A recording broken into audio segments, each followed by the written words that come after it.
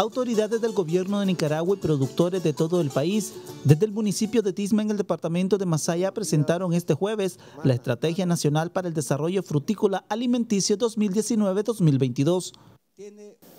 Esta Masaya que también se caracteriza por comercializar todo lo que producimos en el campo y en la ciudad.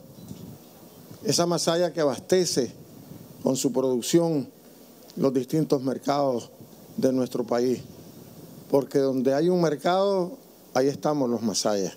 Es importante el esfuerzo que todos ustedes hacen en esta estrategia. No podemos hablar de estrategia si no nos organizamos en conjunto con nuestro sistema de producción, consumo y comercio al frente de todas esas tareas que demanda el sector de la fruta. Durante el acto, el compañero Miguel Obando, titular del Instituto Nicaragüense de Tecnología Agropecuaria, resaltó que como parte del trabajo permanente que se ha desarrollado junto a los productores, el sector frutícola presenta un importante crecimiento.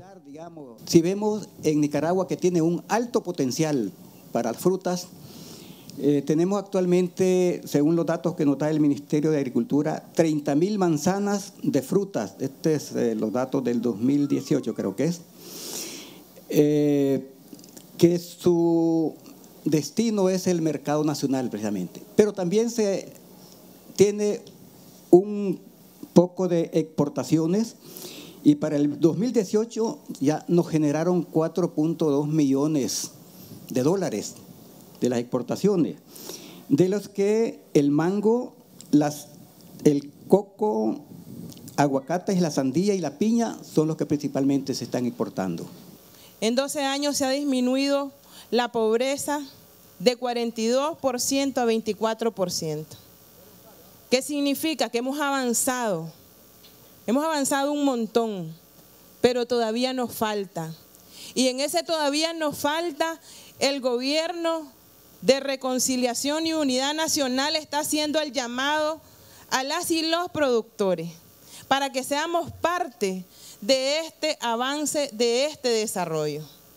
Por su parte, la codirectora del INTA recordó que desde el gobierno sandinista se han venido creando las condiciones para elevar los índices de producción y comercialización de las frutas a nivel nacional la estrategia de nuestro gobierno, las líneas de trabajo de nuestro gobierno para seguir diversificando la economía, la alimentación, es buscar cómo fomentar la mayor producción de estas áreas, este, sobre todo en los rubros mm, más importantes de nuestro país. Y algo importantísimo también es que nuestro país tiene todas las cualidades para producir lo que querramos. Y las frutas se producen desde el Pacífico hasta el Atlántico. Kenneth Barquero, Multinoticias.